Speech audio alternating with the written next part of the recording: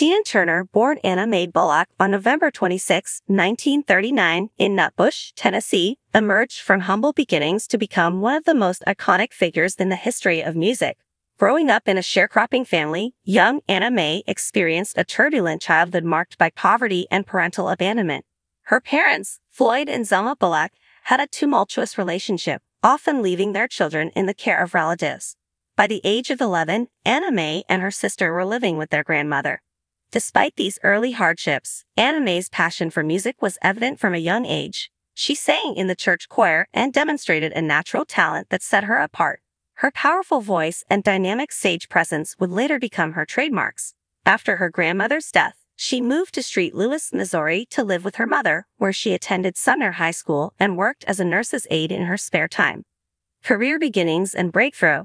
Tina's life took a pivotal turn when she met Ike Turner, a bandleader of the Kings of Rhythm, at a nightclub in St. Louis. In 1960, she impressed Ike with her vocal prowess and joined his band as a singer. Ike recognized her potential and changed her name to Tina Turner, marking the birth of a legendary partnership.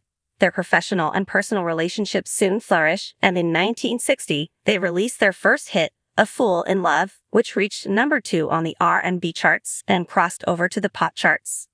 As Ike and Tina Turner, they produced a string of hits throughout the 1960s and early 1970s, including River Deep, Mountain High, Proud Mary, and Nutbush City Limits. Their electrifying performances and Tina's unparalleled energy captivated audiences worldwide. Their live shows, especially their rendition of Proud Mary, became legendary, solidifying Tina's reputation as the queen of rock and roll. Collaborations and solo success. Tina's collaboration with other artists played a significant role in her career. She worked with some of the biggest names in music, including Phil Spector, who produced River Deep, Mountain High, considered one of the greatest songs of all time despite its initial commercial failure in the United States. Tina also collaborated with Mick Jagger and the Rolling Stones, opening for them during their tours and even performing with Jagger at Live Aid in 1985. After enduring years of physical and emotional abuse from Ike, Tina made the courageous decision to leave him in 1976, walking away with nothing but her stage name and determination. The late 1970s were challenging for Tina as she struggled to rebuild her career. She performed in small venues and made television appearances, but her career seemed to be at a standstill. Resurgence and global stardom. The 1980s marked a dramatic resurgence for Tina Turner. In 1983, she signed a new recording contract with Capitol Records and released her album Private Dancer in 1984. The album was a phenomenal success, featuring hits like What's Love Got to Do with It, Better Be Good to Me, and Private Dancer. What's Love Got to Do with It became her first and only number one hit on the Billboard Hot 100 and earned her multiple Grammy Awards, including Record of the Year. Tina's newfound solo success catapulted her to global stardom. She embarked on international tours, captivating audiences with her powerful voice, electrifying stage presence, and resilience. Her autobiography, I Tina, co-written with Kurt Loder, was published in 1986, detailing her tumultuous relationship with Ike and her journey to independence and success. The book was later adapted into the 1993 film What's Love Got to Do with It, starring Angela Bassett and Laurence Fishburne, which further cemented Tina's legacy. Personal struggles and early marriage, Tina Turner's life, while marked by extraordinary talent and success, was also characterized by profound personal struggles, scandals, and health issues. Her tumultuous relationship with Ike Turner is perhaps the most well-known aspect of her private life, casting a long shadow over her early career. Born Anna Mae Bullock, Tina met Ike Turner in St. Louis in 1956. She joined his band, and they soon became romantically involved. In 1962, they married in Tijuana, Mexico, a union that would be marked by severe abuse and control. Ike Turner was a gifted musician, but also a deeply troubled individual, grappling with drug addiction and violent tendencies. He exerted a tight grip on Tina, both professionally and personally, dictating every aspect of her life and career. The abuse was relentless and brutal. Tina endured physical beatings, psychological torment, and infidelity. Ike's control extended to the financial aspects of their partnership, leaving Tina with little autonomy. Despite their professional success as Ike and Tina Turner, which included hits like River Deep, Mountain High, and, and Proud Mary, the turning point came in 1976 when Tina finally found the courage to leave Ike. After a violent altercation in a Dallas hotel, she fled with just 36 cents and a Mobil gas card. The divorce was finalized in 1978, and Tina agreed to leave almost everything behind except her stage name and two cars. This marked the beginning of a new chapter in her life, one filled with significant challenges but also immense opportunities for personal and professional growth. In the late 1970s and early 1980s, Tina struggled to rebuild her career. She performed in small venues and on television variety shows, often for meager pay. This period was marked by financial hardship and uncertainty, but Tina's resilience and determination never wavered. She fought tirelessly to reclaim her independence and establish herself as a solo artist.